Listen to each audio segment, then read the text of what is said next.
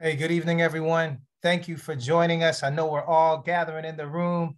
Thank you all so much for being with us tonight on this somewhat nasty weather of a night, but I'm glad you're here with us. Uh, we will be getting started shortly as we let folks come in. Um, so please sit tight, hang tight, grab something to drink, grab something to munch on. We are in, we're, I'm telling you, you're in store for a powerful discussion tonight. So get comfortable and we'll start very shortly. Thanks again for joining us.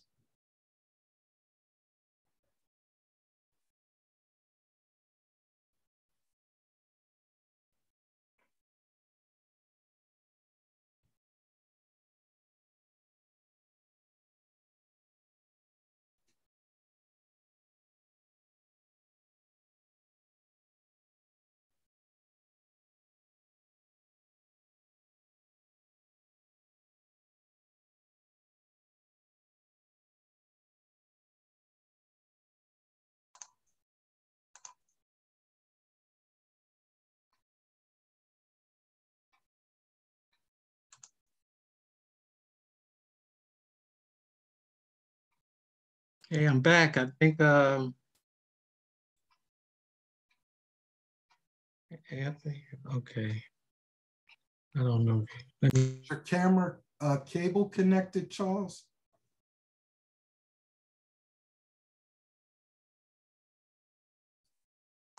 that button came up again that says start. Um, I, I'm gonna hit the okay and see what happens here.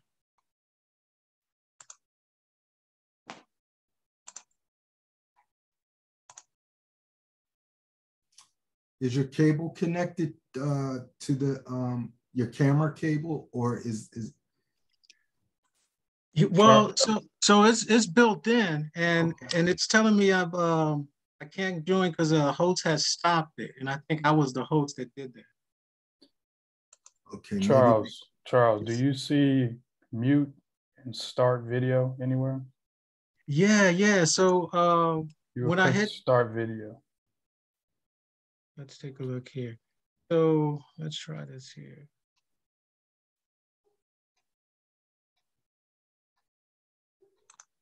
No, I don't see the start video, but let me take a look here. Um, Do you have a slide? Is it a is it a laptop yes, sir.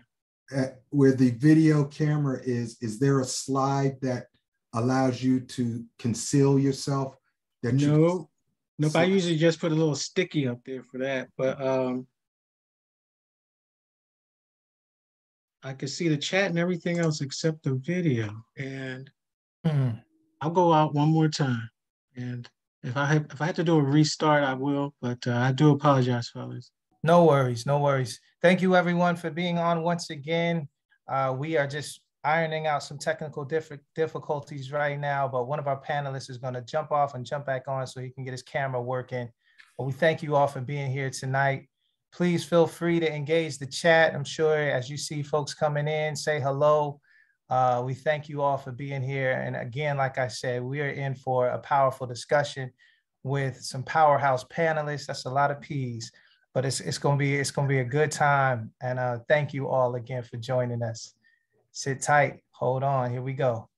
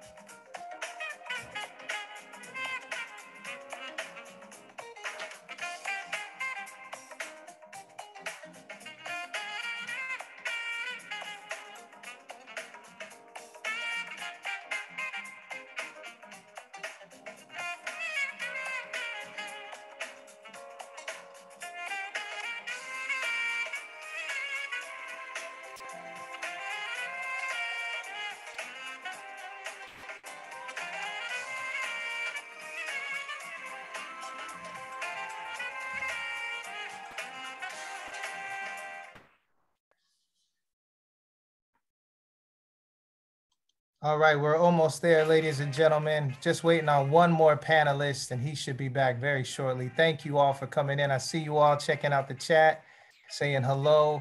Hello to you too. Thank you for being here, and we'll get started in just a few minutes.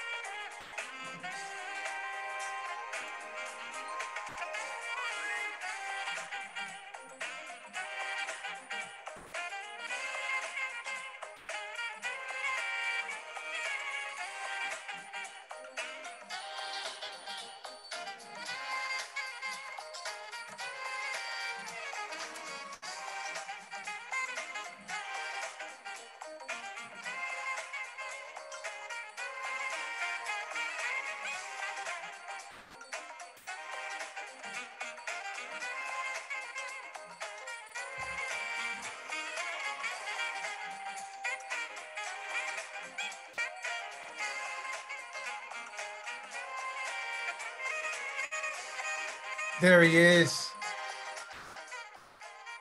Excellent. We've got everybody in the house. Thank you all for being here tonight. Charles, Anthony, Mike, thank you for making it. Everyone, I want to welcome you all to our third annual Black Generational Wealth Series 2022. Thank you, everyone, for being with us here tonight. We are excited to kick off our first event of this four part series on generational wealth in our community, a powerful discussion that's needed on so many levels. And we're so grateful to be starting off tonight, really starting off with talking about our personal financial literacy and how much that plays a role in generating and sustaining wealth in our communities. You know, when we talk about our communities here in Philadelphia, this whole series came about as we were looking at some of the statistics when it comes to Black men and boys. And we are roughly at around 24% of us are in poverty. And those are staggering numbers. And those numbers have even been great, more impacted because of COVID and the recent challenges with employment in during the great what resignation and or the big quit. And so we've seen those numbers fluctuate and, and grow even worse over time. And we are thankful that you all, the residents here in Philadelphia, we put this together and y'all demanded it back again. And so we're here for year number three to talk about generating wealth in our communities, to combating some of the cycles that have kept our communities in similar situations year after year, generation after generation. Well, it's time to break that cycle. And we know we start breaking that cycle through learning and getting new information in order to create new habits. And so we're excited about tonight's discussion. You know, I uh, am so grateful to be working alongside our wonderful commission, an advisory commission to this office the Mayor's Commission on African American Males. Now, the Mayor's Commission on African uh, American Males, they work as an advisory commission. They are men of the community that point us in the direction of Black men and boys. They make sure this administration is pointed in the direction of the needs and the concerns of Black men and boys. And we're thankful for their uh, work and their assistance in putting this together as they point us towards ways that we can engage Black men uh, better, that we can advocate on their behalf, and then ultimately create policy recommendations that, that build and sustain change for Black men and boys. And so shout out to MCAM. Thank you guys for all of your work and assistance in putting this on tonight. I also want to thank our panelists for being here because it could not happen without them. But before I get to them, let me introduce myself. My name is Eric Westbrook. I am the director for the Mayor's Office of Black Male Engagement, and I am on my third year of being in this role. And I am honored to be here tonight to be able to share this platform with y'all, to be welcomed into your homes, your living rooms, wherever you are right now. Thank you for having us here Thank you for listening to this voice and looking at this face right now. I appreciate you. And I tell you, I will honor your time because I think you have tapped into the very, the right place tonight. Uh, we have a treat for you.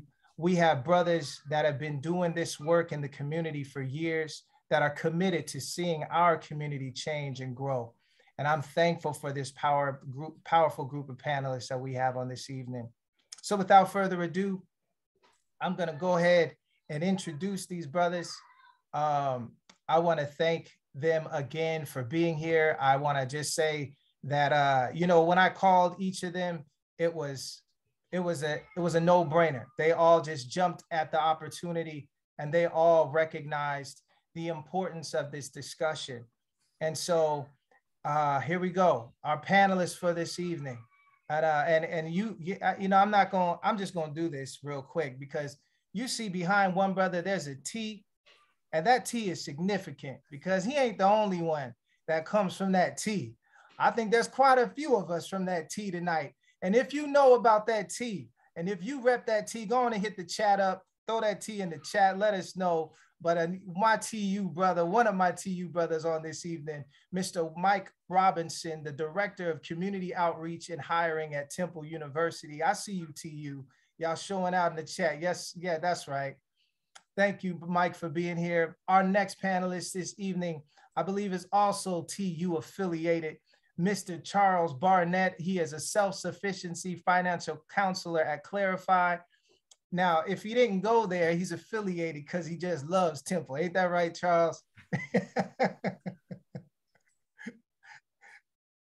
I hear you. Yes. We gonna get to you, brother. We gonna get to you. Yep. And and next, without further ado, a brother of ours who is on social media known as Financial Lituation. His name is Anthony Copeman, and I'm so glad that he's here as well to bless us with his presence and his expertise. Thank you all. This is our panelist for this evening on this very dynamic conversation called Make That Change. Now, we wanted to talk about personal financial literacy, and I'm a hip hop fan. I love rap. So the idea of make that change, we wanted kind of a double entendre there. Making that change means obviously some of the changes that we might need to make in building new habits but also making that change, making money. Because although wealth is not only about money, money does play a significant role in building wealth. And so I wanted to, before we get started, I wanted to define wealth. As we're talking about Black generational wealth, let's define wealth. Wealth in the dictionary, in the Oxford Dictionary, is an abundance of valuable possessions or money. Now, valuable possessions obviously can range from whatever we deem as valuable. But when we talk about generational wealth, it talks about the ability to pass on those valuable possessions to the next generation. Now, with that being in mind, we want to create and, and present tonight some resources, some tips, and some strategy on how to do that. It's really about vision. And we're excited to really talk about vision because, as we all know, the last couple of years. I remember at our first series, we had some folks who were ready to run out that building and start their businesses. And then I did, I got a few messages from folks that said COVID shook everything up. And folks stepped back from that ledge and instead of jumping into that those businesses or uh, looking to take a risk, um, the times shook everything. And we kind of moved back. And that's understandable as, as we were all hit with the unprecedented times that we are still navigating. But as we move forward, we really want to start talking about, well, what changes need to be made for us to move forward? And I'm excited to talk about that tonight. So let's jump into it, brothers. Um, first question that I wanted to ask everyone is, you know, can you talk about what, how important is vision in this? We talk about wealth and generational wealth.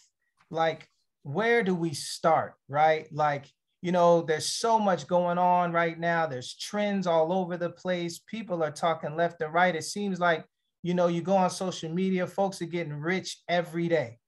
But what about wealth? And where does wealth start? And we'll just open it up to everybody uh, as we talk about vision.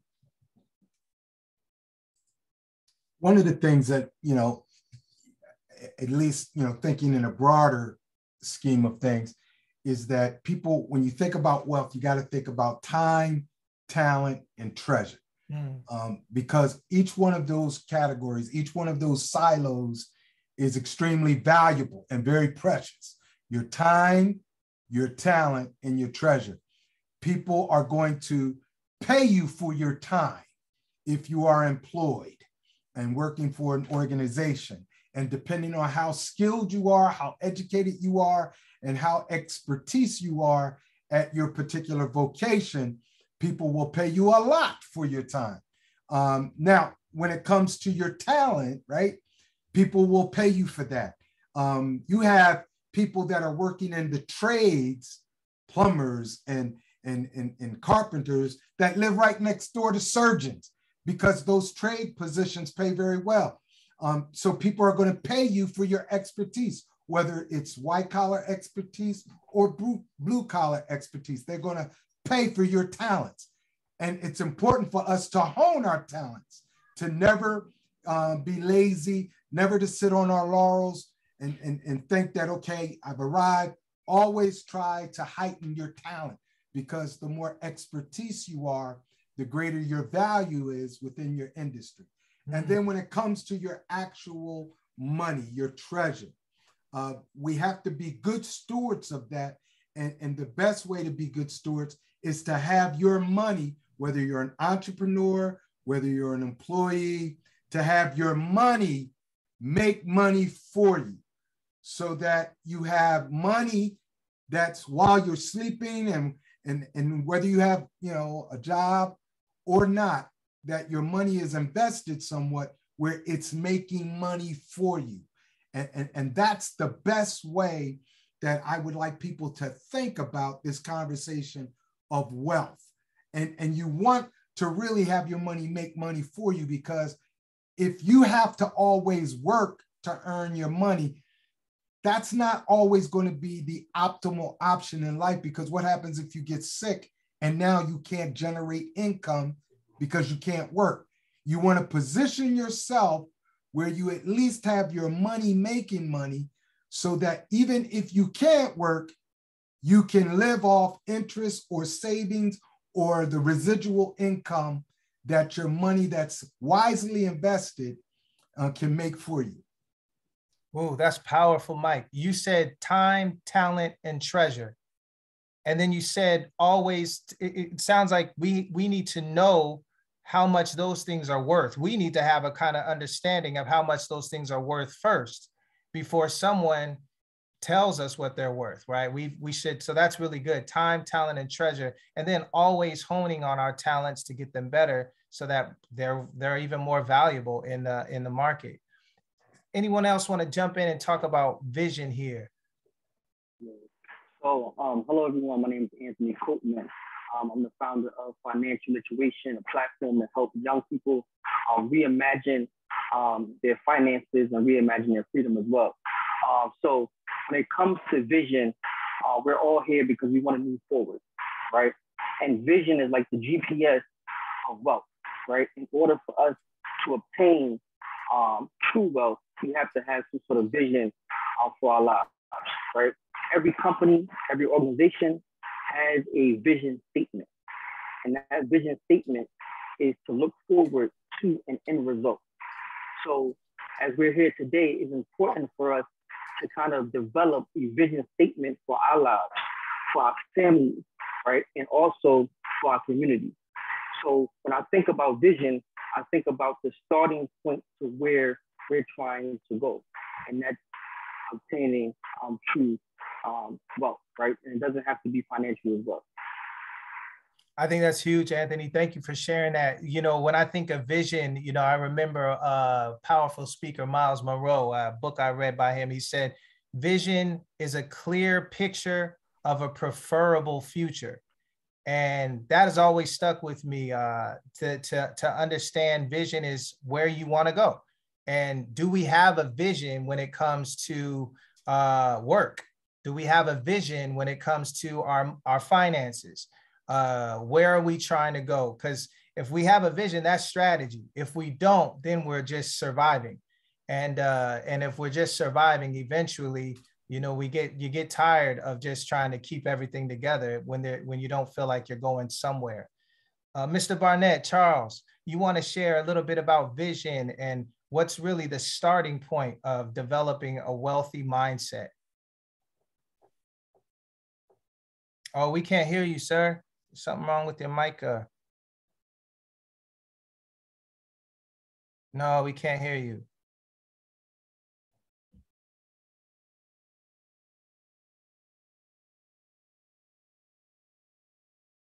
Can you turn the volume up, Charles?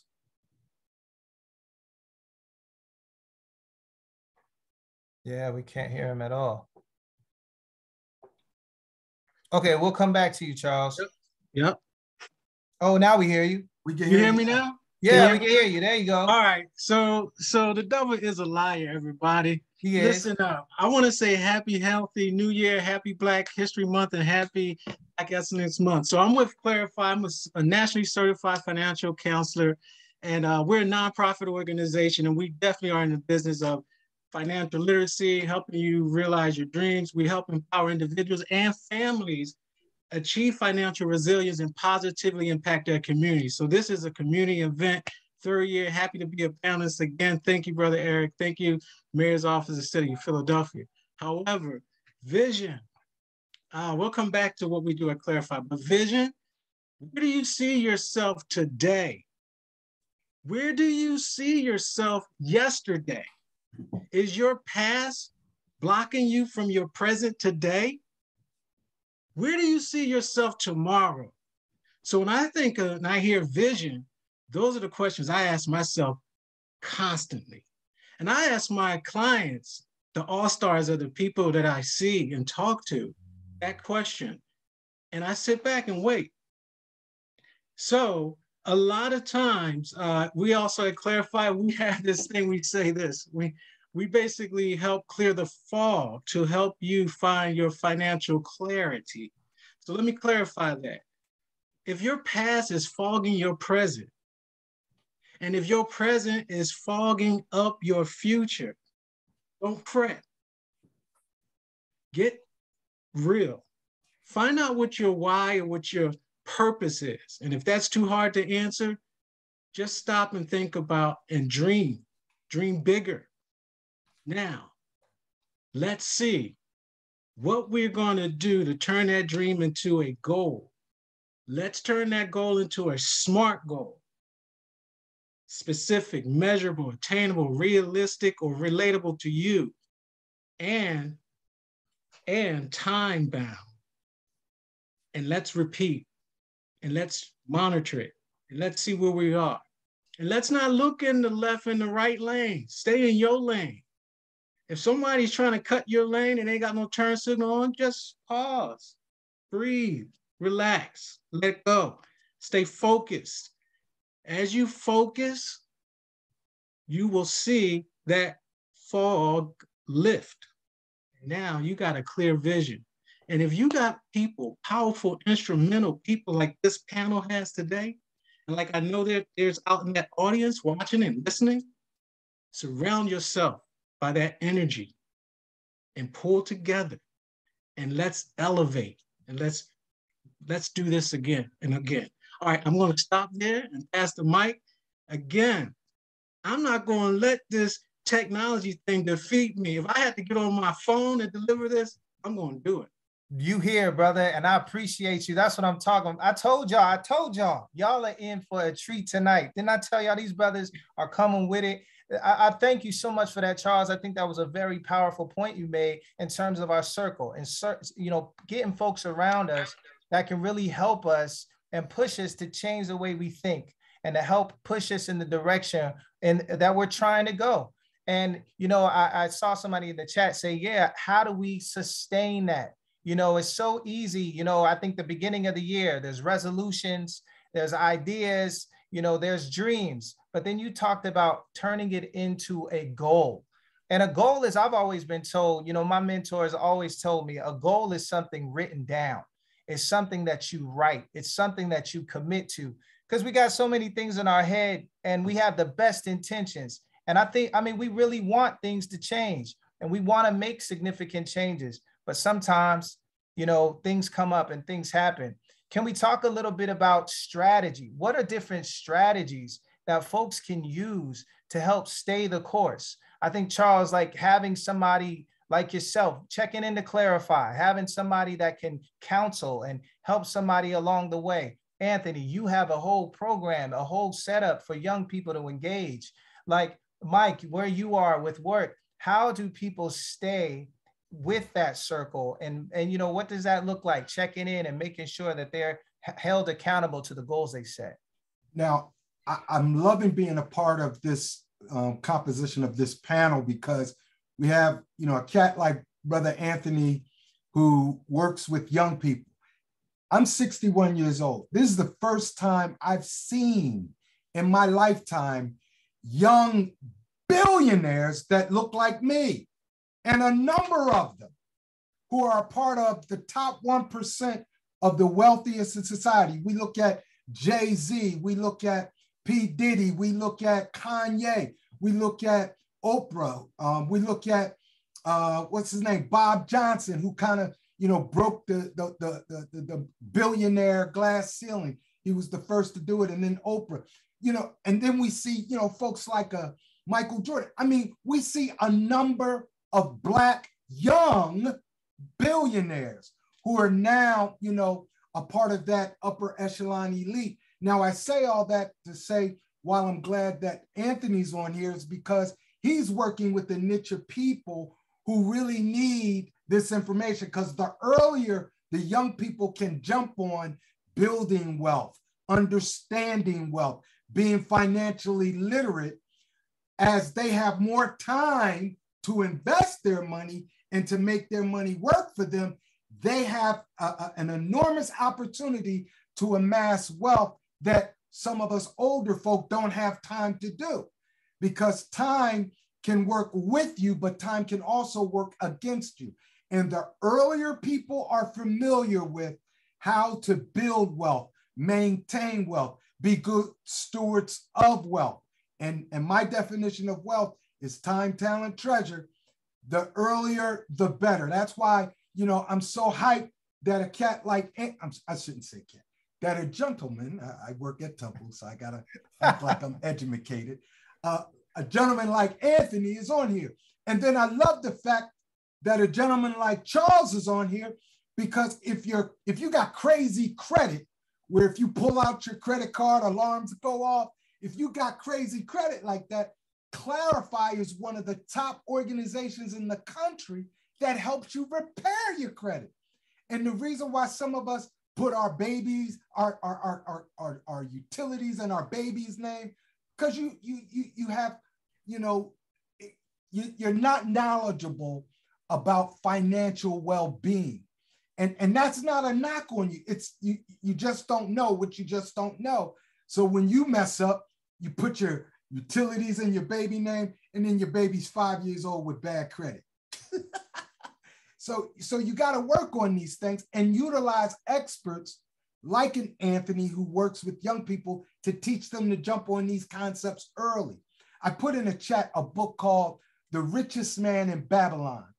It's a book written in a parable form, in a storytelling type form that teaches money principles, how to invest, how to uh, be good stewards of your money, how to make your money make money. It's a great book. The book's been around for many years, but it's a great basic education in financial literacy and money management. And let me say this, and, and I'll, I'll, I'll, I'll, I'll decrease. It is so important for us to take advantage of these experts. And now that you have cell phones that can literally search the internet for this type of information, there's no reason for a person to be financially illiterate today. No reason. There's no excuse. You have too much access to, to this great information and people like these panelists to, to, to help you. Mike, I, I appreciate you saying that. I think, you know, in our community, you know, this is this is information that a lot of us didn't get. You know, we didn't get coming up. And so as you pointed to the younger generation to start now, because so many of us didn't get it growing up. We didn't get it until we got hit in the face with bad credit or we had to react. And now we had to figure things out on the fly and we kind of moved into survivor mode very quickly.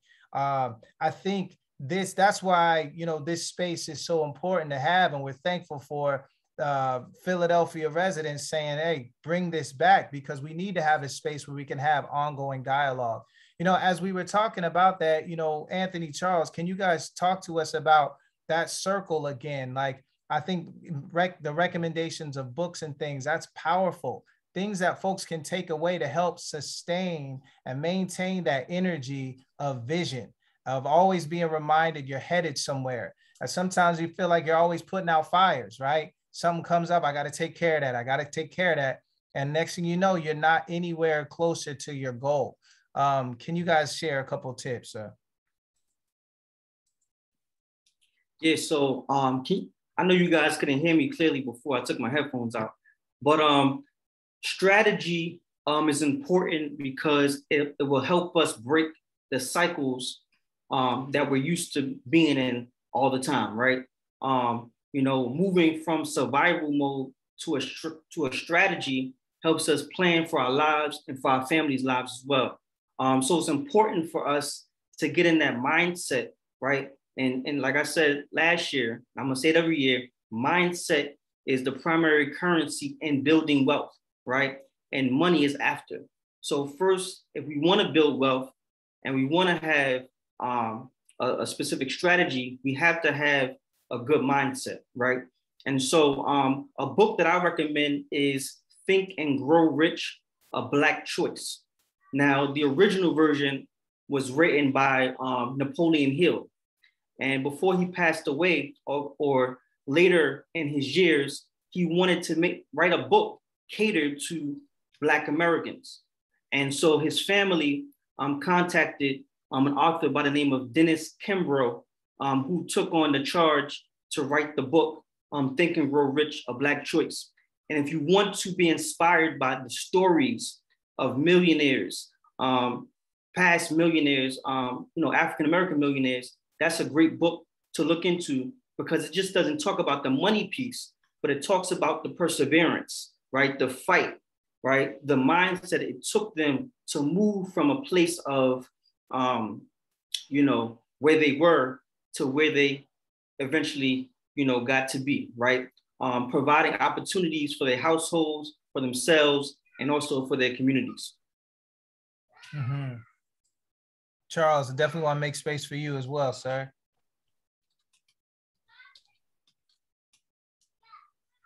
So as I was listening, um, I, I, heard a lot of books I've read multiple times. Uh, the one uh, uh, Brother Mike mentioned, uh, The Richest Man in Babylon, that's a real short read, but it's a great read. Seven principles to live by, and basically um, it's, it's foolproof. Uh, what Anthony just mentioned, also great. Both versions, really, you know? Um, so it, it uh, you know, uh, purpose is one main real part of that. Once, once a person finds their purpose, it's just like, uh, you're not even working because what you're doing is you love so much, right? Um, there's there's all kinds. Um, um, our parent company, GreenPath, had a, a workshop with Budgetnista. Um, you may have heard of her. Um, um, uh, um, um, long story short, she she has great tips, great strategies on how to budget. Um, I, I read a lot and there's a whole lot that comes to mind, but uh, there's a little book on common sense investing by John Bogle, the guy who, um, who uh, Vanguard, the guy who, who founded Vanguard. Literally, there's all sorts of wealth of knowledge of information. Uh, you might you might relate to some some some authors more than others. There's the Warren Buffett Guru Path. There's a dozen books out there about them. Uh, there's the uh, now here's one that um, um, like we were talking before the, the, the thing kicked off. We were talking about how YouTube has been kind of instrumental in learning. So I challenge you all to uh, look up a brother from Baltimore, uh, Reginald, Reginald uh, I believe Lewis, Reginald Lewis. Um, the only person who ever get admitted to Harvard without even having ever to apply. And uh, this guy was uh, so, so, so so down to earth that he had um, started his business as a child selling papers. And, and, and long story short, he wound up doing uh, uh, uh, investments where he was buying international corporations. And, and literally, this is a fascinating biography that, that inspires me a lot. Long story short, there's a whole lot of books, but there's also just your basic, basic, basic what are you reading right now, right? Okay, what life story do you uh, inspire to? There's a lot of people that are telling you their story, but somehow, some way that should passion you to find your own story, your own story. And then let's look at some of those, those some of those tools we're going to talk about that you could be implementing today no matter what type of economy or whatever. But but all of these books are, are really, really part of, I would say, my staple of go-tos. Um, so uh, I, I want to get back to to uh, the, the, the the panel. So I'll, I'll uh, I, I, know I speak a lot. Uh, let me pause and pass the mic. That's all good, brother. Thank you. You know, as you were sharing a little bit, you know, you're uh, even uh, off of what Anthony said in terms of our individual, family, our community vision, right? Uh, uh, having an expanded view again of thinking long term, thinking more than just right now, but thinking beyond the now, thinking about tomorrow and beyond. I think that's so important.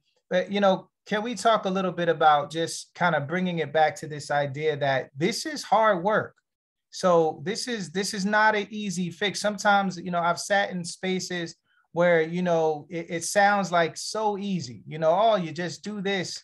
But I mean, we're dealing with, you know, everyone's situation is so different that's on this Zoom tonight and what we're what we're faced with sometimes these things look insurmountable look look when i got out of temple as much as i love tu as six months when i was done with school and they started sending me them bills for that loan i was like okay i, I wasn't saying tu as loud during that point i ain't gonna lie to you but because that mountain looked impossible to to climb to scale to get around to get over and so when we talk about work, right? You know, sometimes we have these challenges, we have these goals of where we want to get to, and then the challenges to get there. Can we talk a little bit about what the point of work? Sometimes when you look at your salary or what you've been paid hourly, and then what you got to overcome to get to generational wealth, sometimes it looks impossible. I mean, it just it looks impossible within a lifetime to be able to get somewhere. And so, can we talk a little bit about that strategy again, the point of work, right? If I'm going to work every day and work's only paying me enough to survive, that's all that's all they're affording me. You know i'm not in a space where i'm making a bunch so i can send here and put here and put there. So i only feel like i'm set up to survive. Uh, but i don't i want strategy. Can you speak to folks there who are working every day who are looking to break the cycle of just getting by and trying to build in that space some type of strategy to get out of that cycle. Absolutely. Wisdom is the principal thing. Therefore, get wisdom and in all thy getting, get understanding. People pay for content knowledge. The more expertise you are, the more knowledgeable you are of a skill or, or, or, or a particular um, uh, uh, expertise, people pay for that. Um, I'll, I'll, give you an example.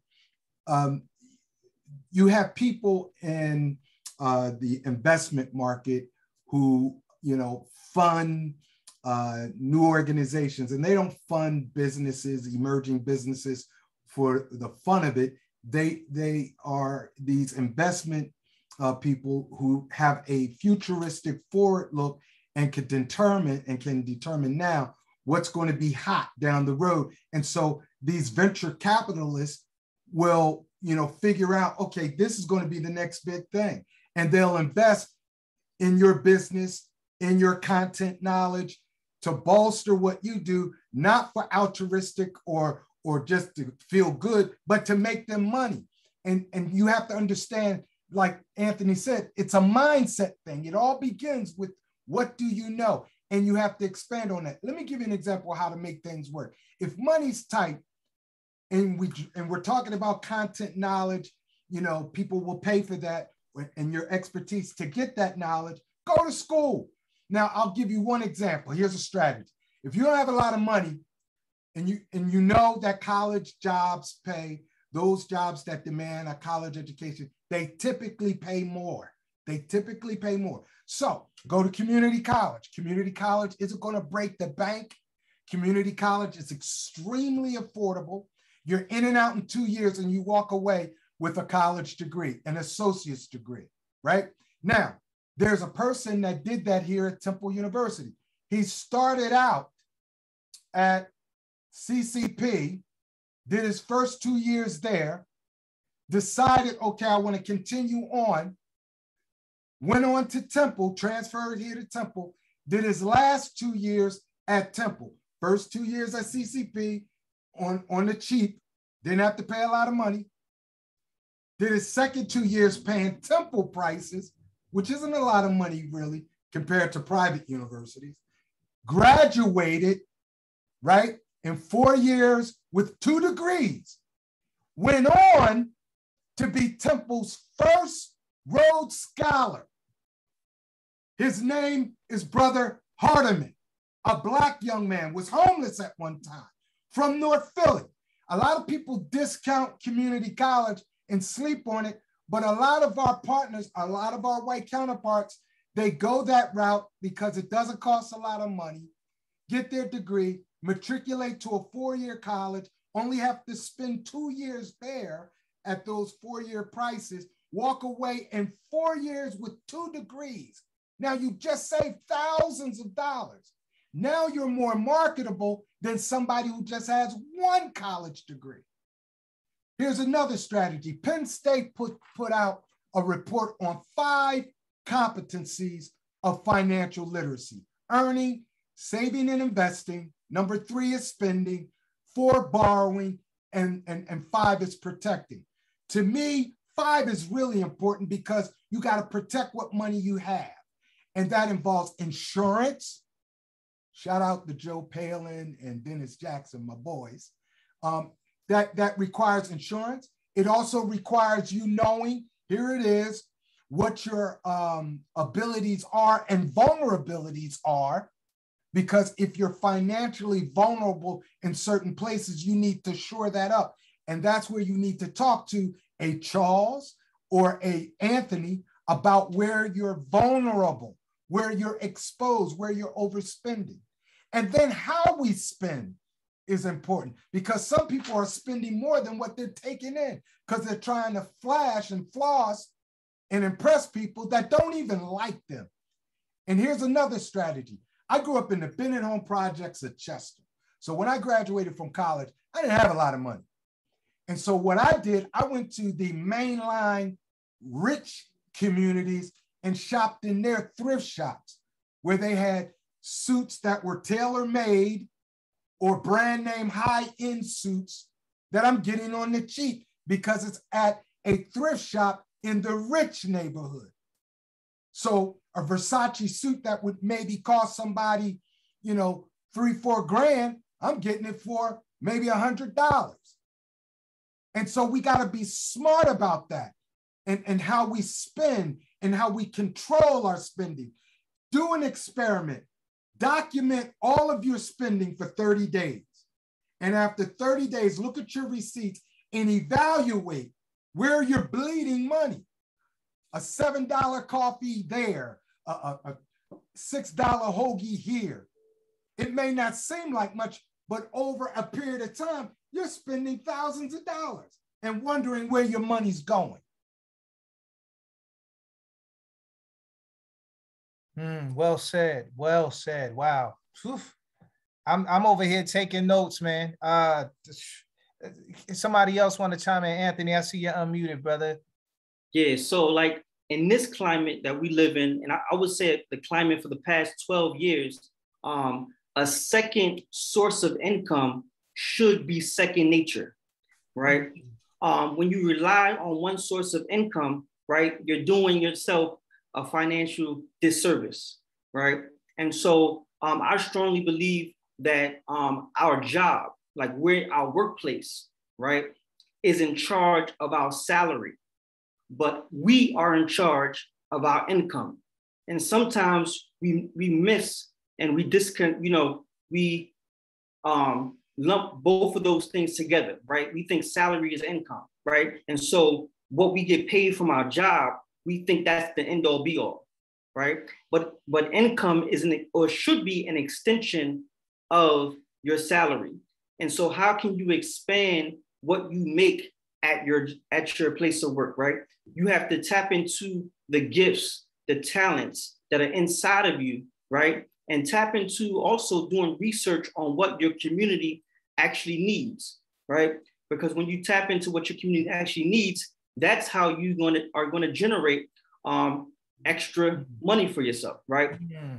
And so there's a difference between a source of income and a stream of income. Mm-hmm. So if you're currently a teacher, right, and you're looking for another stream of income, right, that is a stream is connected to the source, right? So if you're a teacher and you're looking for another stream, right, you look for something as being a tutor, right? You're looking at something as creating curriculum for those um, children in your neighborhood, right? You know, um, you're looking at other ways where you can use um, that source to generate other income from, from you that's outside of your nine to five, mm. right?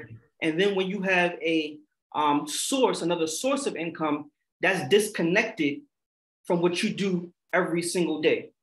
And how can we understand um, the gifts and talents um, that we possess, right? First, we have to take inventory of um, why we got hired in the first place, right? Think of those skills that you use each and every day at your workplace and think about how you can use those skills to benefit your community, right? And so that's how we should look at um, the difference between having an income and having a salary, right? One is an extension of the other, right? Because our job wasn't created to make us rich, right? And that's how we we move from survival mode um, to a strategy mode because we're not just repeating the cycles over and over again, right? We're trying to think outside the box because we have a vision for our lives, right? And when we have a vision for our lives, being comfortable is not it, right? Mm-hmm. Because true wealth is when you when you feel uncomfortable, right? True wealth is when you feel like, you know, uncomfortable and jumping outside of your comfort zone. So that's something um, that you have to do in order to um, generate financial wealth. Hmm, that's really good, Charles. I want to let you go because you know I'm over here bubbling over, man. I'm going. I'm going to open my mouth if you don't. Go ahead, bro. Hey, hey, thanks. Everything brother Mike and Anthony just said, right? Everything. So, so um, um, just to sprinkle a little bit to that, right? Um, he's he's basically saying multiple streams of income, and you know if you can create some passive income, even better. Uh, let's talk about how people are really uh, uh, uh, surviving or struggling or trying to find a job um, to to answer all their their dreams and their wants and their, their things, right?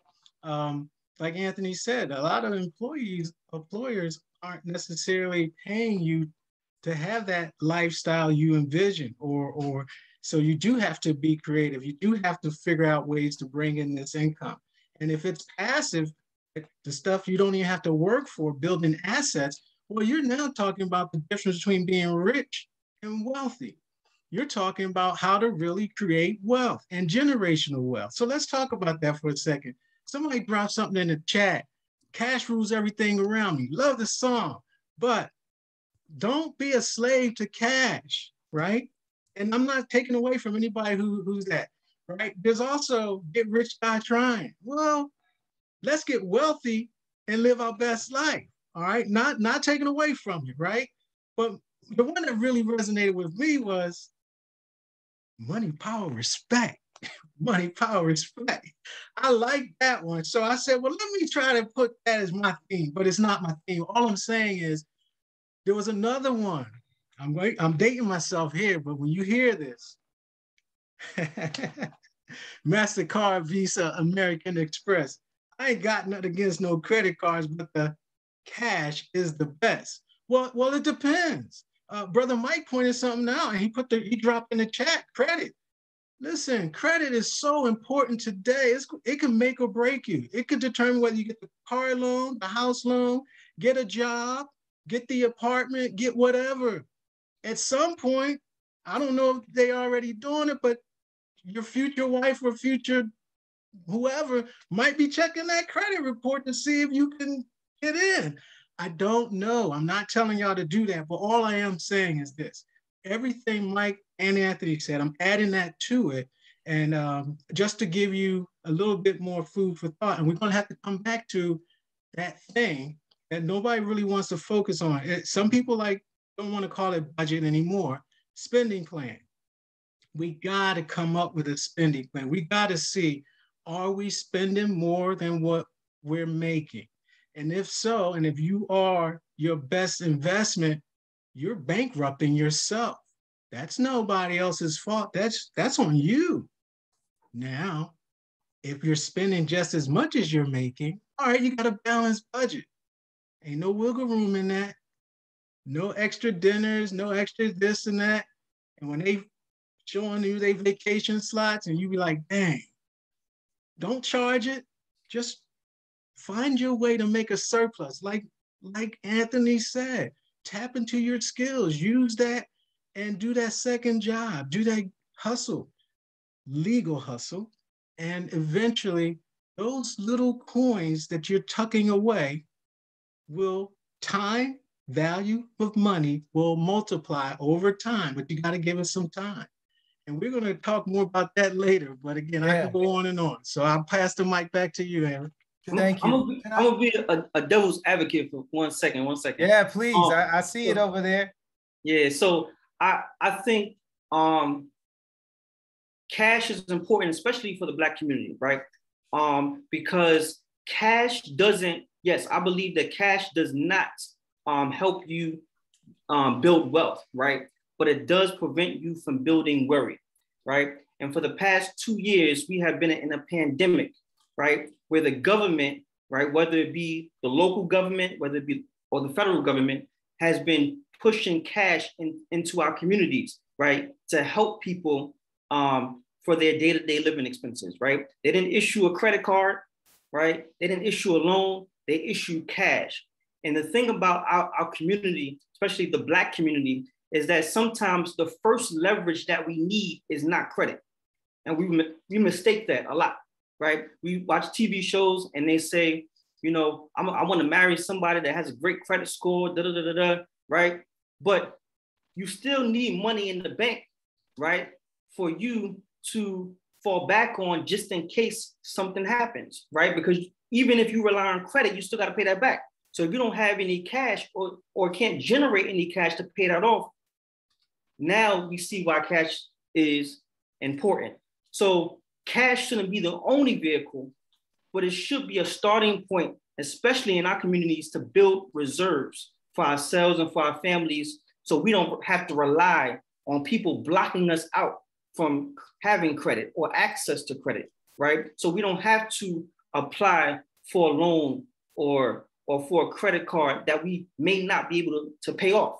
right? So it's important for us to always build um, a reserve for ourselves, whether that be three to six months living expenses, nine to 12 months, whatever it is. Start small, right? Don't think of those, those months, right, as, oh, I, I can't make it to 12 months, right? I don't have enough to make it to 12 months. But just start small and build and build and build, and you'll see your, your reserves grow, right? I think that's important um, for our communities.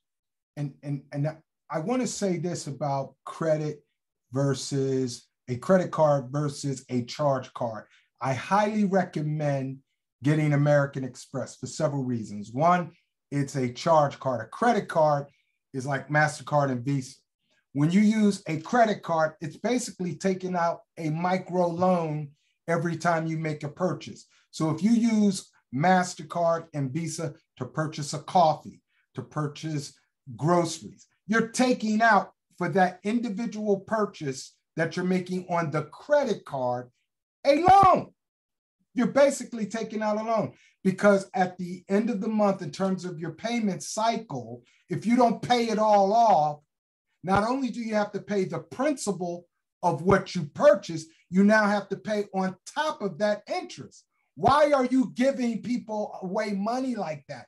You're giving these companies free money when you go on this pay cycle. I know it's convenient where you know you can pay the minimum amount on your credit card payment and that's comfortable for your budget, but overall you're losing because you're going to end up paying more in the end than the principal value of what you purchased.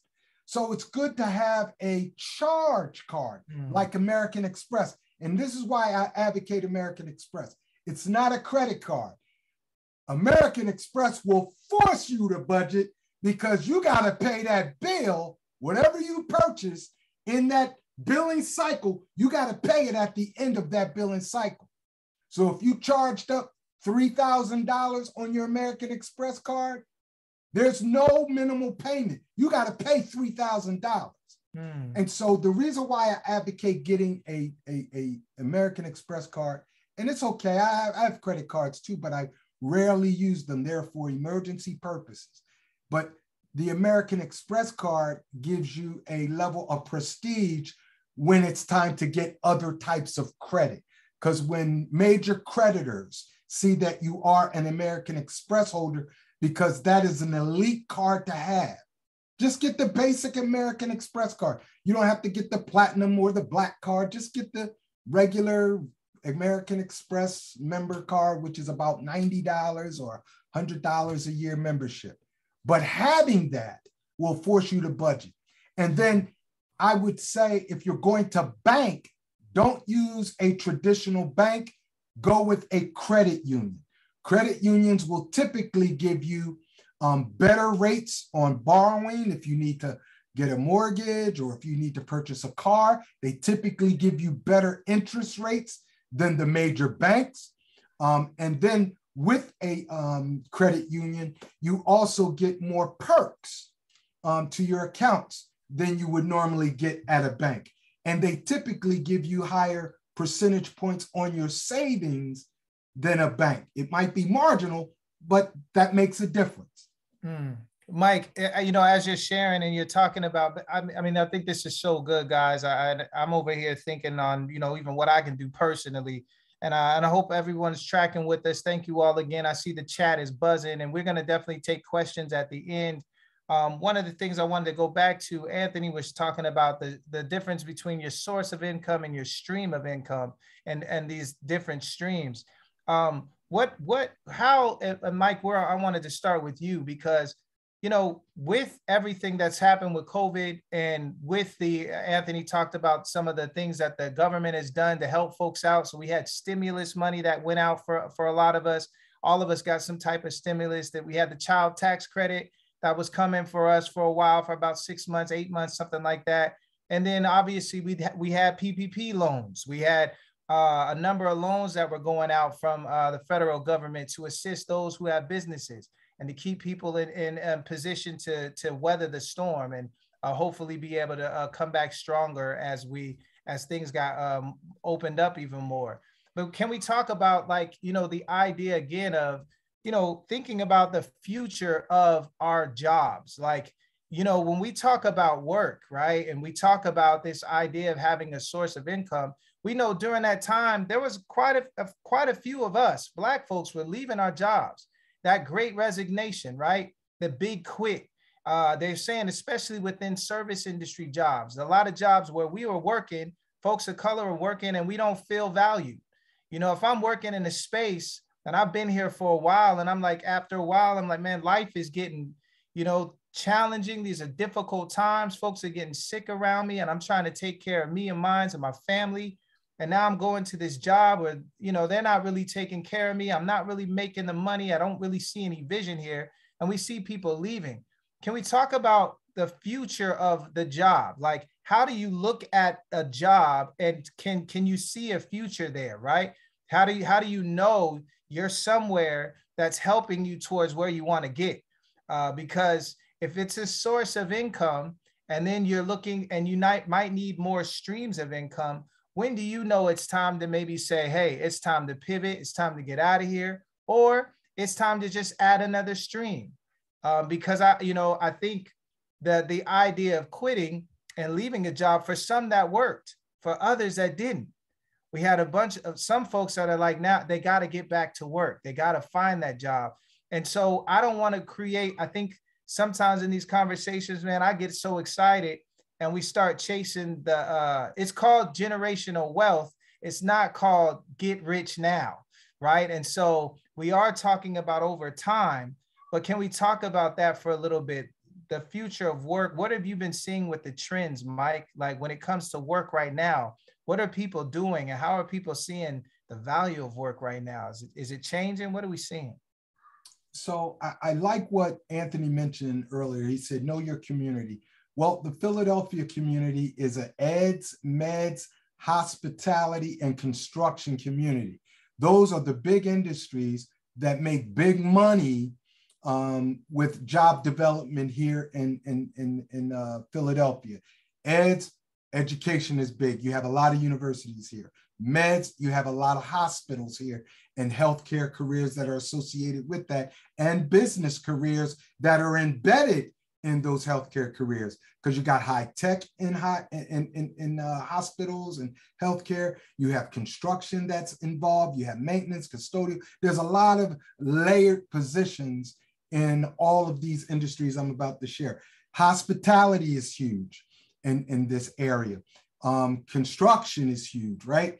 And, and, and so know your community and know what the demand is. Right now, I've never seen in my lifetime, I told y'all I'm 60, 61 years old. I've never seen where companies are paying higher salaries for that they've never paid before. You, you can work at McDonald's now. Some McDonald's are paying $18 an hour. That's not bad money for somebody with, you know, minimal education.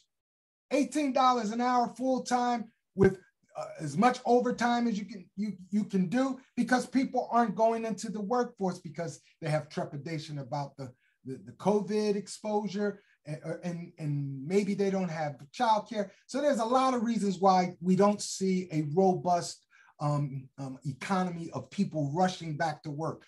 So that's why companies are paying more. So in our community, whether it's construction, whether it's health, whether it's education, whether it's hospitality, because those are the major industries that crank Philadelphia. And let's not forget um, government, because city government is the biggest employer in Philly. And, and, and let's not forget that, let's add that to the picture having that as let's say your mainstream of income you're working in one of those major sectors but you're not happy going back to my point about you know retooling retraining getting the education you need. And that might not mean a four year two year experience. It might mean just developing you know a, a few months of investing your time training in computer technology. That's a huge sector that's always in demand. Tech right? Um, I'm a pastor, so I, I'm, I'm, I'm bivocational. I work for Temple University, and I also receive, you know, money stream from being a pastor in the city, right? And so I use you know, parts of my income for investing. And that's where your money is going to make money. A lot of rich people pass down wealth. And the biggest way you can pass down wealth is through investments, right? And also through assets, whether that's you owning a home and passing that down, or watch this, through insurance vehicles, where when you die, because you have an insurance policy that is bequeathed um, to your beneficiaries, where it puts them ahead of the game. So we got to start thinking about that. I know we don't like to think about, you know, our mortality and, you know, that may sound a little morbid, but one of the cheapest ways you can bequeath wealth to your loved ones is to have a nice insurance policy on you so that in the event of your passing, you're passing down wealth to give your beneficiaries a leg up. Uh, the next generation having a leg up in wealth. And it doesn't cost a lot of money to, to, to have a nice insurance policy vehicle that can pay for uh, that can pay that kind of um, outlay when you pass away. And your jobs can provide that nowadays, where they have a, a certain threshold of insurance coverage on you. And I always recommend getting supplemental insurance because your job may say we only go up to a hundred thousand. So get a supplemental insurance policy that has maybe, you know, a 500,000 or a million dollar um, uh, um, um, um, uh, uh, uh, vehicle attached to it. Um, there's so many ways and, and talk to experts. I put in the chat Joe Palin. He's an independent financial broker. He's in the chat. I put his information in the chat. And for insurance, he does that as well as investments. And I put in the chat Dennis um, Jackson. He's an expert in insurance, and he's also uh, going to be uh, doing some investment. He'll be licensed on that uh, pretty soon. But he's with State Farm. And so those are two experts. And then you have two experts right here. You know, you got Charles who can work with you if you got bad credit. I put in the chat different levels of credit ratings from worst to best. You got Anthony who can put you on the pathway of how you can start early, especially if you're young, to start investing and setting up strategic plans. Take advantage of these guys. And I, you know, I can't emphasize it enough. You have no excuse today because the information is out here. You can't claim ignorance. Companies well, are paying signing bonuses for yeah. minimum wage jobs, signing bonuses. I just read an article about a young lady. She's a doctor. She's a medical doctor. She got a signing bonus of $16,000 to work in Houston. 16,000. Now your signing bonus may not be big like that, but companies are incentivizing people with signing bonuses for minimum wage jobs. Y'all better yeah, we get that money we were talking about it the other day. I I I, uh, I went by Wawa and they had a sign outside the door that said, "Hey, look, not only are we going to pay you $19 an hour to, or 18.25 to work here, well, also as soon as you get hired and you sign, you get a bonus. I think it was a $500 bonus right off the top. Uh, lunch is on us. You know, you don't have to pay for your sandwich or whatever you want to get here. I said, wait, hold up. I, you know, I might. We talk about streams. I might give me another little stream, man you know, but I mean, yeah, you're right. There's so many things that are happening out there, and we can really bounce back in a in a different way and, and kind of rethink how we've been thinking about work. You know, Charles, can you talk a little bit about Mike pointed it out. Some of the decisions, uh, and it came in the chat too, the activities that lead to bad credit. What are some of those things that happen? And and and then how can we get, you know, out of that? You know, what have you noticed with your clients? Absolutely. Um, so, so those scores, they're, they're most of the scoring models out there literally are breaking down 35% of your score is really going to be based on are you paying your bills on time, right? So avoiding paying late because that's going to haunt you for three years, right? That's going to definitely put a ding on your points. Um, 35% payments on time, 30% credit utilization, which means if you have a $1,000 credit limit. You should never go above 300. ever. And if you do go to 300, you should be able to pay it off before the due date every month.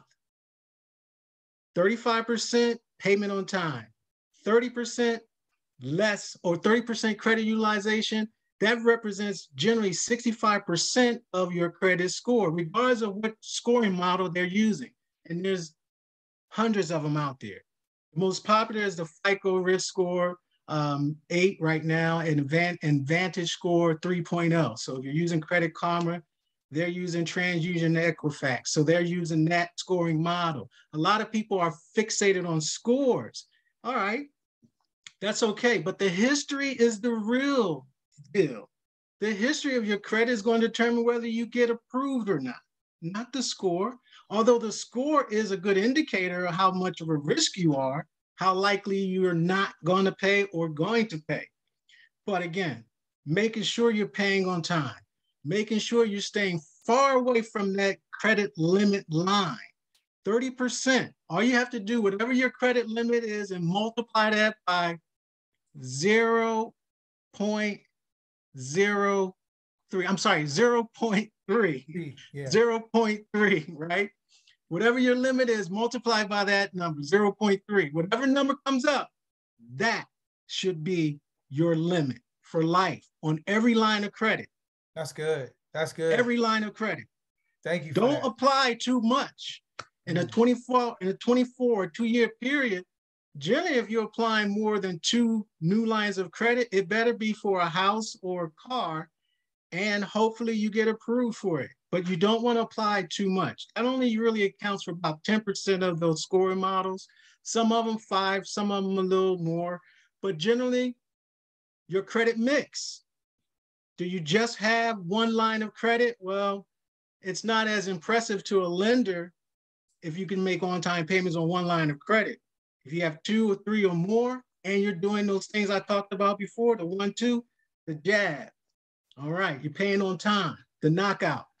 You're paying that balance down to zero every month because you're not ever getting close to that limit.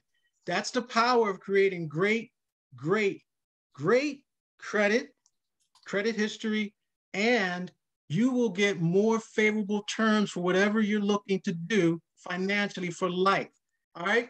So there's a little bit more to that, but I don't want to dive in too deep. But that's what a one-on-one counseling session can bring for you.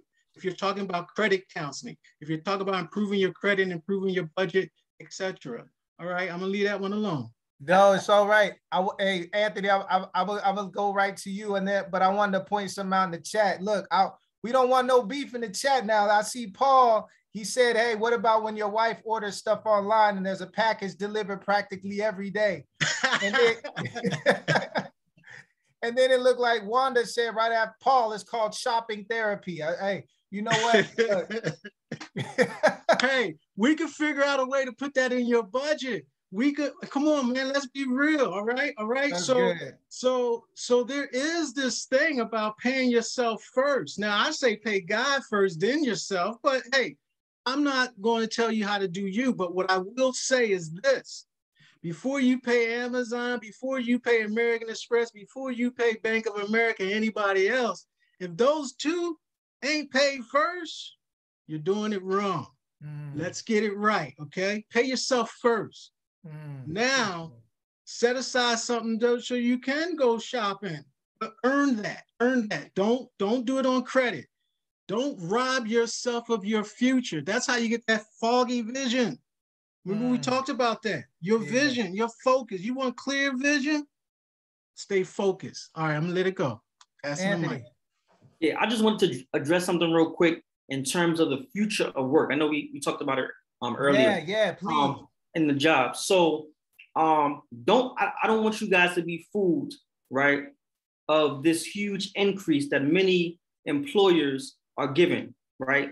Everybody there's there's there's um income inflation right now because it's a there's a desperate need for workers, right? And the reason why I don't want you to be um, fooled by it is because right now in this moment they need the workers, right? Because trust and believe, automation is coming, where a lot of jobs, right, will not exist 10, 20 years from now because of robots, right? And this may sound foolish, but it's coming, right? We have Amazon um, creating um, stores where you don't even have somebody to check out, you know, with, right? All you do is, is, is tap a, your, your phone and you just um, check out all the items from sec- a, a security code, right? That's it. Nobody's in the store, right? They just got cameras in the store and that's it.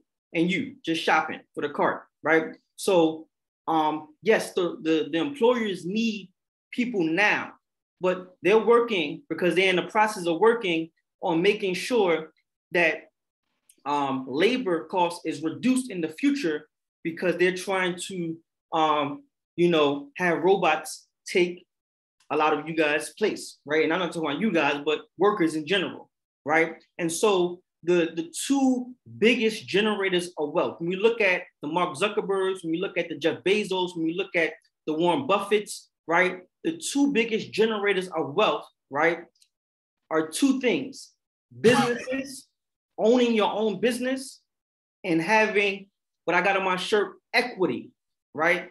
Owning, right? Not just starting a business, but owning shares in the business, right? And so when we think about um, the Mark Zuckerbergs, the Jeff Bezos, um, the Warren Buffetts, they don't get or they didn't get because Jeff Bezos is no longer the CEO of Amazon anymore.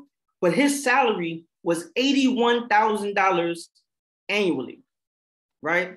The majority, the reason why he's a billionaire is because he owns shares in the company that he started, right? So that's important. So um, it's important to look for jobs that will not just pay you money for this very moment in time to live day to day, but to look for work, right? And jobs that will offer you equity, ownership in the business. Um, because I know I know a lot of, of companies such as Starbucks um, that will offer their employees shares in their companies, right? And not just people in in, in the boardroom, right? And their their um, corporate um, employees, but also baristas, right? And supervisors on the local level, right? So equity and ownership is important, right? So we want to own, like Mike said earlier, um, invest, invest, invest, own shares of the companies that we use and we support and patron every single day, but also look for jobs will also pay you equity um, as well. I have a, just a quick story. I have a had a friend who worked for this company called Instamed. Um, it's in Philadelphia, um, and um, she was, you know, making a, a decent salary, and everybody in the company had equity, right? Right. So they allowed you to accept the, um, the shares or not, right? So you can you can say, yeah, I, I want shares in the company, or I don't want shares in the company, right? She decided not to take the shares in the company. She left the company, moved to New York, and then Instamed got bought out by JP Morgan Chase, Ooh. right? And so now those people who had shares in Instamed now their shares converted to JP Morgan Chase shares, one of the biggest, you know, banks in the world, right? Investment banks, consumer banks in the entire world. So equity is important. I just released um, a clothing line called Equity is the New Black um, because I want us to, to uh, redirect our focus from just receiving, because um, we, we run culture, if you haven't noticed, right? Yeah. A lot of these things that we that you see on TV, a lot of the the marketing that's geared to, towards us, they got it from us, right? So if we're gonna, we no longer are the days where we just receive a check for doing a commercial. No, we want equity in the business that we are marketing for, right? So that's why equity is important to me, right? No, no, just one-off check, but ownership in the company. So there's two generation um, generators of wealth, and that's business ownership and investments in the company right? So, like I said, Jeff Bezos, Warren Buffett, Mark Zuckerberg. I know people are saying, you know, tax the rich, tax the rich. They're not making that a year in salary. They're making it based on them having equity in their business, right? So that's extremely important. Mm, that is, thank you. That that is huge. I think that again shows the very difference between rich and wealth, right? And I wanted to touch on this. I know we're coming on about 10 more minutes until we open it up for questions, uh, more questions from folks. But I wanted to touch on the idea of what's really trendy right now. We're seeing a lot with cryptocurrency, NFTs. Um, folks are checking this stuff out. You know, I'm looking it up. I'm doing research, trying to figure out ways to do this. Can we talk a little bit about um, investing there and and what's happening uh, in the market right now? You know, I saw the young girl I was sharing with you guys I saw this little girl, man. She drew some pictures of people with long necks, and somehow she this little girl made four million dollars because people have been buying these NFTs. Can we talk a little bit about that and cryptocurrency and should we believe the hype about these trends that are here now? Um, and then can we talk? I mean, just can we put that within the the bubble of you know trying to get rich and then building wealth? Well, if you have Cash App nowadays, Cash App will allow you to literally buy stocks in major companies um, right from your Cash App. You, you can buy portions of stock or you can buy the stock right out. For instance, let's say, and I don't know what the stock market rate is for Comcast, but let's say it's uh, uh, $300 a share. Um, Cash App will allow you to buy parts of a share so if you can't afford to buy one share, which would be that 200 or $300, um, you could buy portions of it. Um, Cash App allows you to also buy into cryptocurrency and also NFTs. Now, NFTs and crypto, they're, they're risk because you, you can see the volatility and it going up. You could be a millionaire overnight with crypto or, or especially with NFTs, you could be a millionaire overnight and then the next day not be a millionaire it, it, because there's high risk with that. But the payoffs, you know, can be great. Investing is always a risk. That's why they have high risk uh, investments where you can make a ton of money if it hits right on those high risk investments, or you can lose it all. I'm invested in mutual funds. There's, there's a couple of great mutual fund houses. You have Fidelity, great, one of the best mutual uh, funds out there. And I also have TIAA-CREF, right? Another great mutual fund organization. What they do is they spread your money across um, uh, the investment landscape. So your money's in tech, your money's in real estate. Your money's invested in construction. And so they spread your money out and they give you levels of how to invest. You could come in at low risk, mid level risk, and high risk investments in terms of the mutual funds and stocks you want to invest in. But I like mutual funds because they spread your investments out and, and, and, and so that all of your investment isn't in one egg with NFTs and, and crypto, for me, because I'm old fashioned, I, I'm not for that. But maybe, you know, Anthony and Charles can maybe shed some light on that. Me as an old head, you know, I, that's still too new for me, even though people have become millionaires overnight with that.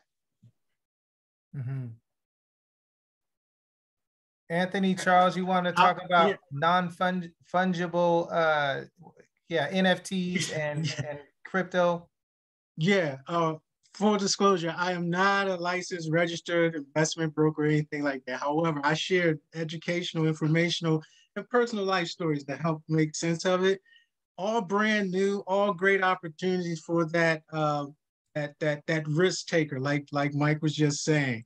Um, it is not proven. Um, um, I would say the non-fungible tokens is a rival to, to the Bitcoin. Um, you, you have to have uh, Ether or, or the Ethereum uh, platform to be able to purchase these things.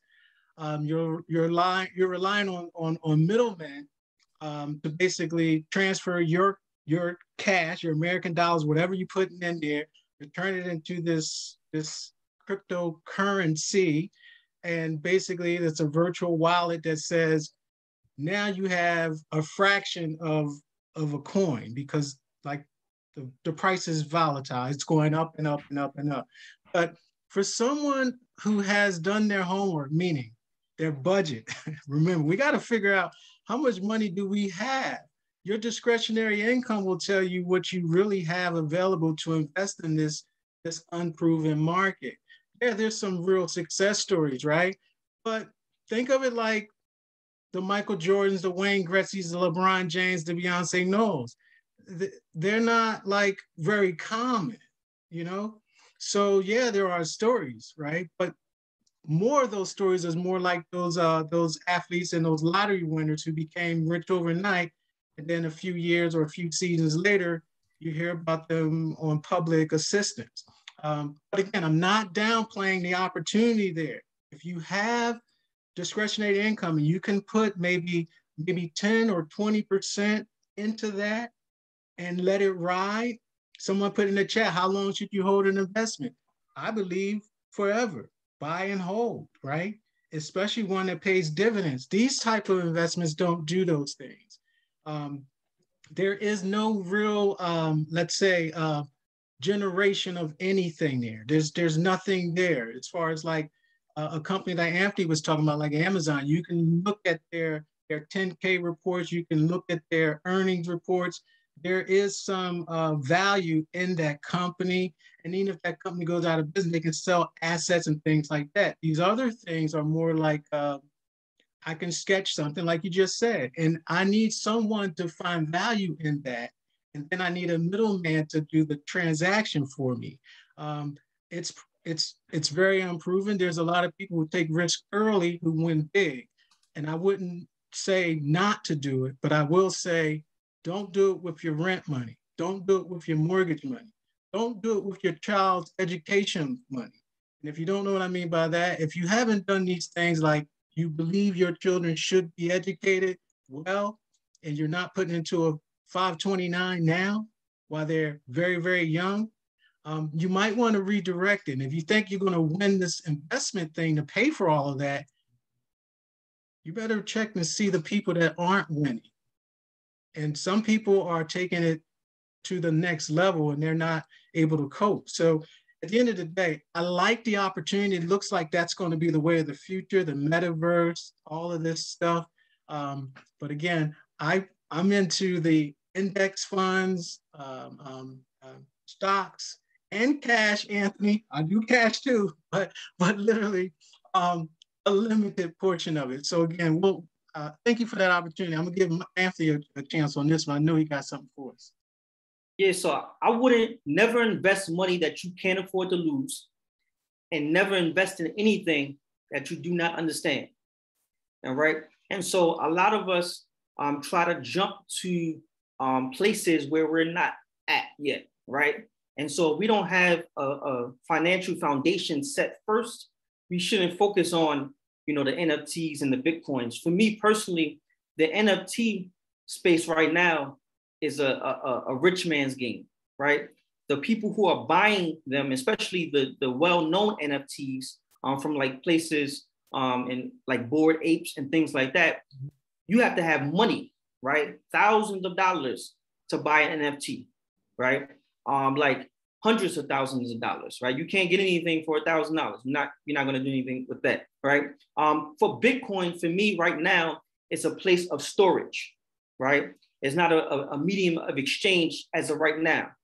Um, and this is why I say cash is still important because even when you sell Bitcoin, right, when you buy it and sell it, you're going to convert it eventually to cash. So cash is always going to be important, right? Um, and, and with the government looking to regulate, um, you know, cryptocurrency, I'm sure in the future, um, the federal government is going to create its own um, digital currency. Um, so Bitcoin and NFTs are, are, are trends, but it has yet to been to be proven, right? So we want to invest, we want to start and build a foundation um, by investing in things that have already been proven, right? And so investing in the stock market um, in the largest companies in America, over 500 co- companies, which comprises of the S&P 500, right? That has been proven year after year historically to help us gain 10%, right? Um, adjusted for inflation, right? So we want to make sure that we in, are investing in things for the long term and not just jumping on trends, right? And we need to focus on, you know, those long-term gains or gains rather, um, and focus on the things that we actually understand, right? Because um, we should focus on money that will last, right? That's should that should be the strategy. Mm. Brothers, this has been a powerful discussion. I I'm just I appreciate this. I think there's so much. This is a wealth of information. Um, I wanted to jump into our questions that we have in the chat and some of the Q and A that we have. We have about seven of them. Uh, one of them here is uh, uh, Hull asks, "What is a good company to use for insurance?" Um, and you know, where do where do you start for insurance? I know folks get letters in the mail, you get phone calls from folks, and insurance. That's a that's a conversation again that Mike pointed out that can be very morbid, and it takes a very a strong sense of sensitivity from folks uh, to have that conversation. But where do you start, and how do you know you got a good company? Insurance companies have ratings um, and you want to check the ratings of the insurance companies. Um, they're graded. Uh, and, and, so that's you know something that should be a part of your research. Um, as I mentioned in the chat, there's two experts on insurance. Um, eh, Joe Palin of the Palin Financial Group and uh, Dennis Jackson uh, with State Farm. State Farm is a great, well-known brand in the insurance industry. And so you, you want to go with um, companies that have, you know, great uh, records, great his, track history uh, of success with their clients.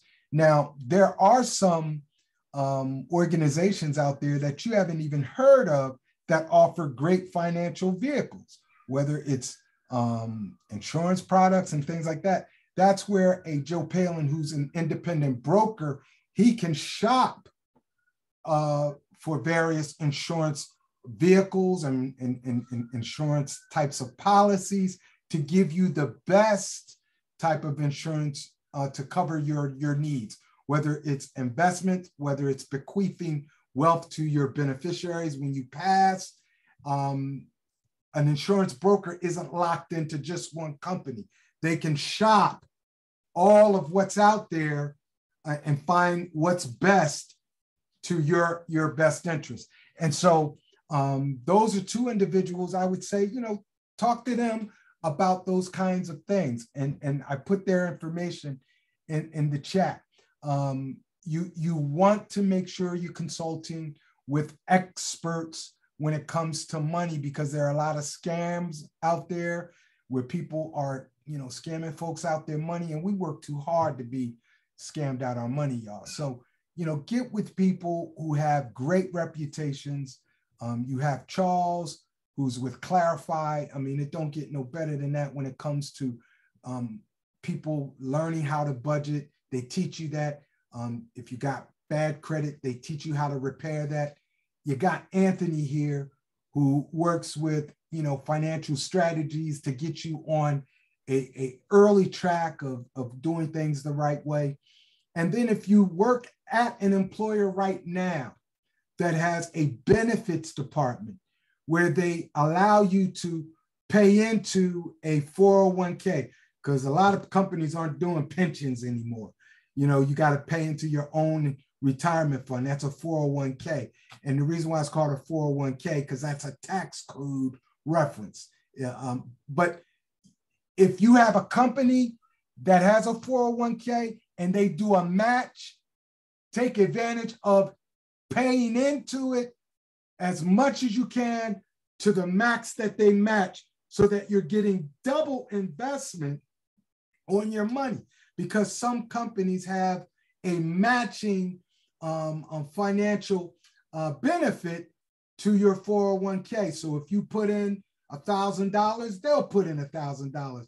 Now they'll have a threshold of the max that they'll contribute in it in an annual you know time frame but i highly recommend like you know talking to a benefits administrator at your company about what's the max you can put into your roth your your mutual funds um, and other types of investing vehicles that they match or, or, or have uh, set up for your benefit. You know, it just makes sense because that's free money if they match in your money. That's free money. Mm-hmm.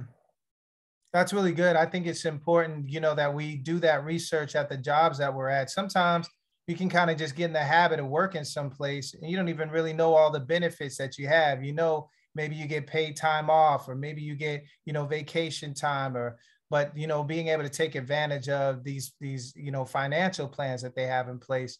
Because a lot of times you get in there and and uh, you're at a very base level, and it might, you know, you're like, but you might be able to do more. So I think that's a really good point, Mike. Thanks for sharing that. And uh, please, yes, check out up in the chat. You can scroll up if you've been here.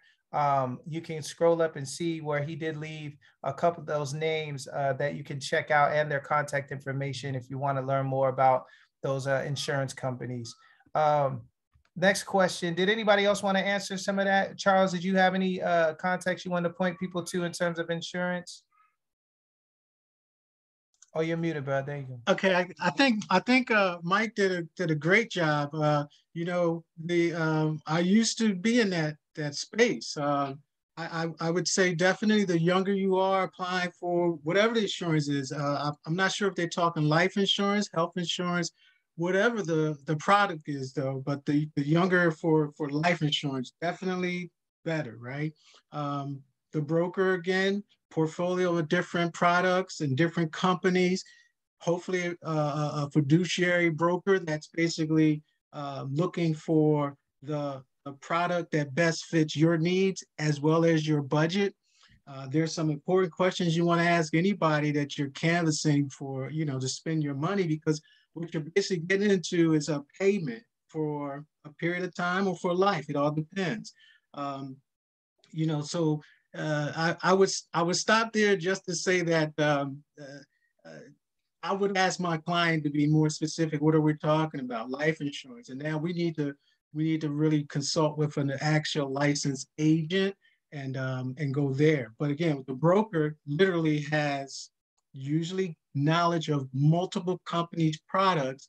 The, the, this is what I used to do, the weigh the pros and the cons against each for that client need as well as budget. Um, so that that's that's uh, uh that's all I'm going to leave that one alone, and I'll move I'll move on. That's good. Uh, Anthony, this this question I want to throw at you. Um, it says, where is it? Uh, any opinions or feedback on discount brokerage accounts used for trading shares? Like, do you you have any opinions or feedback for those for those that are looking to invest and trade their shares and stuff and getting help with that? Yeah, um, Mike mentioned a few good ones earlier. Um, Fidelity is definitely a tried and true, um, you know, um, investment firm. Um, Vanguard as well. Um, those are the the premier, um, you know, investment firms. So we have some new ones as well. The reasons I like the old, even though I'm a youngin, but I like the old ones, is because they have great, um, have built a great customer service um, you know, form throughout the years, right? So they have that under their belt. You know, a lot of these new companies where you can download an app, they really don't have the best customer service where you can pick up the phone and contact um, somebody unless you know something, you know, something is wrong with your account. So um, I would definitely look at um, Vanguard, um, Fidelity. Um, you know, for children, um, if you want to open a custodial account where you want to invest on behalf of your child, or children, I would look at an app called Stash, um, Stockpile. You also have, um, you know, um, this new app called Public, um, which is a current rival to Robinhood, um, where it's like a social media kind of, where you you can actually show others what you have invested in, and you can like, you know, comment on other people's status and, and things of like like of that nature. So those are some great um, some great apps. Um, I would definitely look into, I know we talked about 401k, um, but it's also important to look into a Roth IRA, right? So a Roth IRA is um, a vehicle where you contribute after tax money, right? Um, in, into um, a Roth IRA where um, the money, right, has already been taxed, right? So when you withdraw that money, once you turn 59 and a half years old and you have had the account for five years, all of the money, including the interest, is tax free, right? Mm-hmm. So it's very, um, you know, nice to look into that because um, even if you have a, a, a hundred thousand dollar balance on your in your 401k, a traditional 401k, just remember some of that money, if not most of that money, depending on your income at the time, will be taxed, right? So just think you may have to pay um, federal and state taxes on that money, right? So if you have a hundred thousand dollar balance at the end of your retirement, just think 40% is already gone, right? So when we when we factor in our retirement, we can't just look into the the amount of money that we um, have at the end um, because majority of that money will probably be taxed. So that's why it's important, especially for, if your income is not the highest, um, to look at a Roth IRA because the, the Roth IRA um, income limit is a hundred, like under $130,000 if you're single. So um, if you make under $130,000, you can contribute to a Roth IRA in a Vanguard or Fidelity um, account. And um, and the maximum contribution is about $6,000 annual, annually, right? So if you can invest or max out your, your 401k um, in the workplace, which is right now in 2022, like $20,500, right? 6,000 may be doable for you, right? For you to max out. Now, now you can do both, right? If you make under $130,000 a year, you should be contributing to your 401k, especially if, like Mike said, if they offer a matching contribution, right? And then maybe you want to divert the rest of the funds that you have to allocate towards towards financial freedom. I'm not going to call it retirement, towards financial freedom to um, a, a Roth IRA. Hmm. Powerful. Thank you, brothers. That's such good information. I want to get to this next question we got one question. Somebody said, look, y'all know somebody that's hiring. I need a better job. Is that I have a master's in social work and I make $19 an hour. Look, Mike is saying, come over to him. He's he's the director over there We're hiring uh, at Temple. He does uh, job fairs, career fairs all the time throughout the city. Please connect with Mike Robinson. I gotta say this too. Uh, I'm sitting here having a you know conversation with Octavius, our, our coordinator for the office, and we're both like, okay, we need more programming through the year. So I want to tell everybody listening right here, right now, we're gonna be back. Okay. I'm gonna tap on these brothers throughout the year. We got to check in again and see where we're at. We can do something shorter, smaller, but just you know, just a check in to see where we're at and how we can, um, what progress we're making. You know, it's it's February now, but we need to check back again. Who knows? Maybe we need to lock in again in June and just see where everybody's at and how you're making out, what progress you've made, and uh, and what and what what we can do forward. Um, I think we've answered a lot of the questions. Oh, here's one: Should we consider real estate as an investment tool? Should we consider real estate? It's something we didn't really talk about here, but it's real real estate and investment tool. Should we? You know, that's a lot. Folks are buying and flipping things and um I, you know i uh have touched bases with quite a few folks who are who are doing it and doing it well um what are your y'all's thoughts on that and uh, uh as an investment tool god's not making any more land so if you own some real estate it's a good it's a good thing. Now i know some people like to buy and flip and that's a great way to make some money too. You have homes for instance here in north philadelphia right? Um, in, in some sections of North Philadelphia that are blighted, where you see vacant houses and, and, and, and these big vacant lots, where you have outside investors who come in from New York or other places and they'll buy up plots of land. In some cases, buy up the whole block because maybe it costs, you know, maybe $30,000 a lot, you know, to, to buy that dilapidated property or that vacant lot. $30,000 in real estate isn't a lot of money. But then if you build a low income home or a nice home where now it's you bought it at 30,000 but now you can sell that home you just built on that property for two hundred thousand um, dollars, you done made you know a great profit there. Or if you want to hold on to it and have you know certain amounts of rental properties in that residence where it's a multi-unit um, uh, property to make you money on a on a monthly basis, um, maybe that's something you want to do. But I always think owning real estate, just for me, and again, I am not an investment expert. I am not by no stretch of the imagination that guy.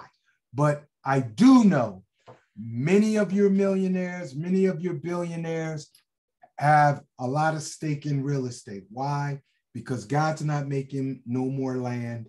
And if you own some land, you have some um, assets uh, that you can always sell and liquidate. Anyone else want to talk about that?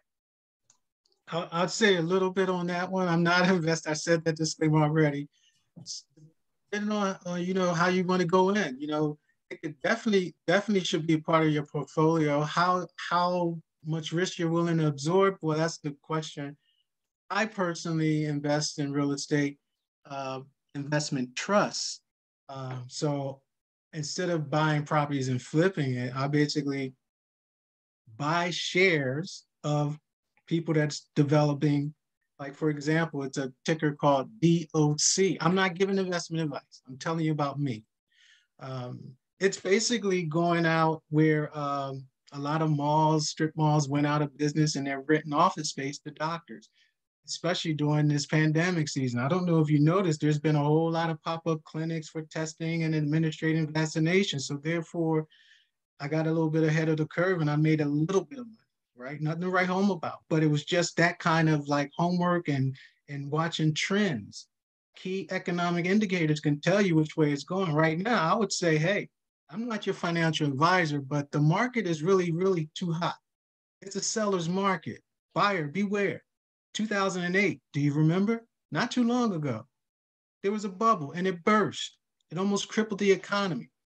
So is real estate a good investment? Yes. Timing is crucial. Homework, homework, do your homework. Remember that foggy vision? Don't get caught up in that cloud of fog. Clear out the fog and really think about it. If people right now are selling properties Today they put it on the market. Tomorrow they didn't sold it for ten or twenty thousand dollars more than it even asked. What does that tell you? It tells you that you're paying too much. The market just can't keep going up. Eventually it's going to peak and go down. That will be the time to get in. I'm done. Mm. Mm. It's good stuff. I hope I, I wow, just good stuff. Um, brothers uh, this was a powerful discussion. I think that you know just based on the folks being here tonight this is something like i said we want to bring back again later in the year to check in with folks. This is something that i think uh, we when we have these times is so much information um, that we have to you know have ongoing discussions. Um, can you talk a little bit about where folks can find you uh, and how they can connect um, on their own. If they want to they don't have to wait till june or whenever we get back together where can they follow up with you stay connected to you to kind of uh, stay um, surrounding including you and their new circle of uh, new habit building? I put my contact again in the chat. Excellent. Excellent. Charles anthony? Oh, I want to throw a big plug in here. Uh, sorry, Anthony. I'm, I'm, gonna be real short, I promise. All right, so Clarifi's who, who I'm who I'm with right now. We provide uh, basically free counseling, right? I'm on the family self-sufficiency team. I'm exclusive to public housing residents, PHA, Section 8, um, you know, housing choice vouchers and public housing. However, Clarifi has many teams. They have the RRR team, that's for homeowners that are looking to either repair, renew, or restore their properties. You know, crime and, and dilapidated properties is like, there's like a direct correlation there. So if homes are in need of repair and things of that nature, you might want to call Clarifi if you are a homeowner, see if you're eligible for some of these, these programs.